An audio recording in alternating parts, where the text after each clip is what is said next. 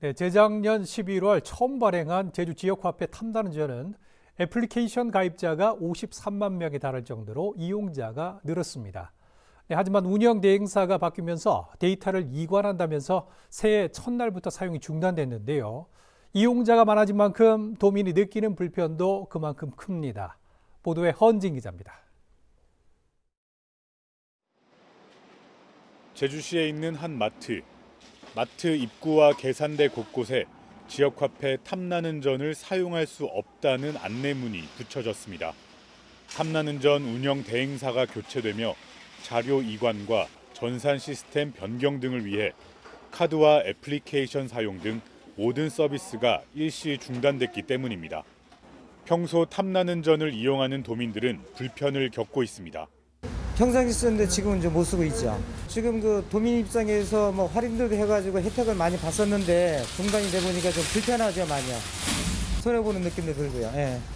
제주 지역 주요 커뮤니티에도 새해 첫날부터 관련 글들이 이어졌습니다.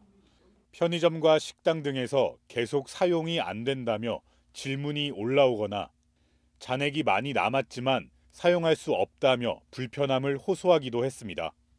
제주도는 운영 대행사 변경으로 인한 탐나는전 일시 사용 중단은 불가피한 상황이라고 설명했습니다.